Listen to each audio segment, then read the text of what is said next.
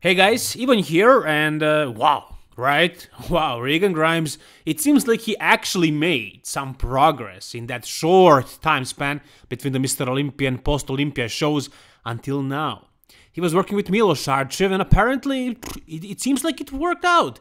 I don't know, I could be wrong again because I was wrong when I said that he didn't make progress. I could be wrong again that on stage he won't look very good, but he actually just might because here he does look pretty good. I mean, look at the look at the arms and and the, and the delts, like it's popping like crazy. The traps too, the legs. I don't know about that. I, I don't think he improved his legs much, maybe a little, but overall, like his entire body compared to his head.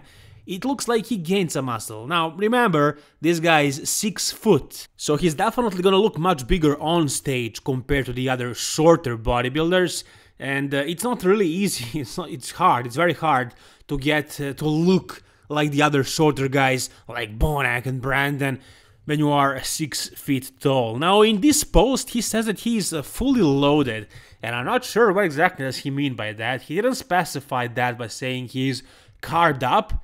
Is he loaded with carbs? I mean, uh, he looks like that. He does look full, much fuller than on that photo that he posted previously that I said he looks small because I mean obviously he was flat. He said that he was flat, and here he says he's fully loaded. But why would he be fully loaded? Uh, a couple of days out of Arnold. So this month has only 28 days. Today is 26th. And the pre-judging for the men's open is on March 3rd at 7 p.m. So he's five days out. I mean, there is this strategy. I, I, don't really know. A lot of people do it, but some people do this front load where they carbed up uh, earlier in the week and then they go lower with carbs. They maintain the fullness.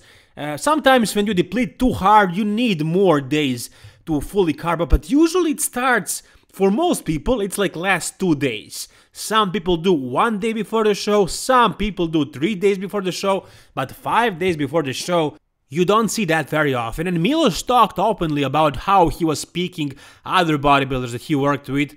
Uh, he also worked with the Dennis Wolf right here, who is behind the Regan, as well as Jay Cutler. Uh, and, and Dennis is also a tall bodybuilder like Regan, so he had to carb up like a maniac, and he was eating about 5,000 grams of carbs uh, divided by three days. So he would carbing up for the last three days.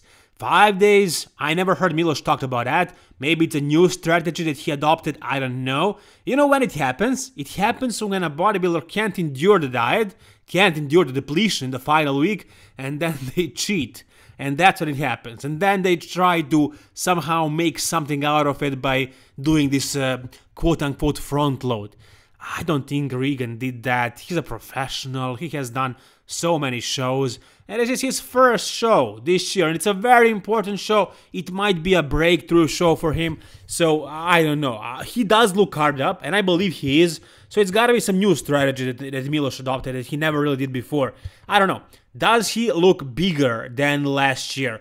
I think so. He does look, at least in this photo. But hey, still, it could be lighting. It could be a great pump. He is obviously uh, very sweaty, so he has the oil. Basically, uh, he has the, he has the shine from the light, so he does uh, create a great illusion of looking probably bigger than he is.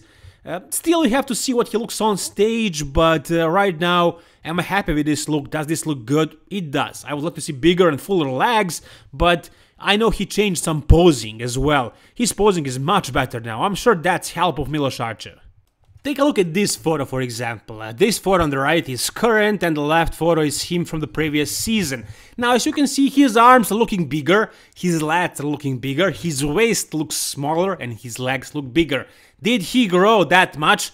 No, I mean he probably did grow a little, but here's the thing. So for example, he lifts his elbows up higher, which makes his lats pop more. This creates the illusion that he has bigger lats. His abs on the photo on the left before were flexed, now he stretched them. By doing that, he makes his waist look smaller and also helps with popping the lats. And also, it helps with the chest looking a little bit thicker. Then also, when you lift your elbows higher like that, your bicep peaks can seem bigger. That's what's happening here. No, his arms didn't grow that much, it's mainly posing. Also, lower body, legs. His legs look bigger now. Did he really grow them? I don't think so. He changed the posing. The left photo, he was doing the legs wide spread, and that's something you can do only if you have really massive legs like Kai Greene or Ronnie Coleman. They used to do that, and they would get away with it, and it would look really good because they had super massive legs. But Regan, he can't do that. He can't pull it off. He needs to uh, keep his feet closer like he's doing now, and take a look at it. Wow, it looks much better. And Milos, he knows all this stuff. He's a he's a great poser. He understands posing so well, so he helped him with that. And of course, I'm sure uh, they made some progress muscularity wise, and also he will probably come really conditioned. And with fixed posing, he will look better. How good will he be? I think he actually has a chance of cracking the top 5, top 6, which is not to be very hard because like 5 guys uh, decided to not compete at this Arnold Classic. So I think Regan has a chance of actually cracking the top six. It will be amazing actually for him because I mean he never really achieved such success. So with everything, you know, a little bit more muscle, better conditioning, and better posing, he might do very very well. And he has these legends backing him up. Dennis Wolf. Jay Cutler and of course his coach Milos Sarcev. We will see what's gonna happen with Regan in a couple of days, guys.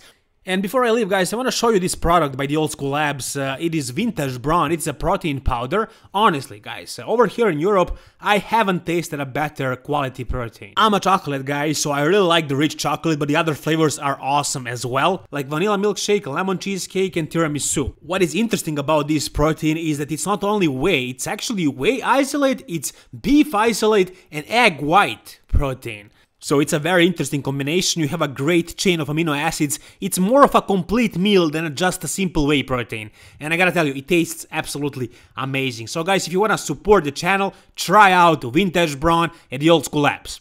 Anyways guys, thank you so much for all the support, for watching, and whatever you think about Regan Grimes, tell me in the comment section down below. What do you think about his new physique update and how well do you think he can do at the Arnold Classic? If you like this video, please give it a thumbs up and subscribe. Once again guys, thank you so much, all the best and bye bye.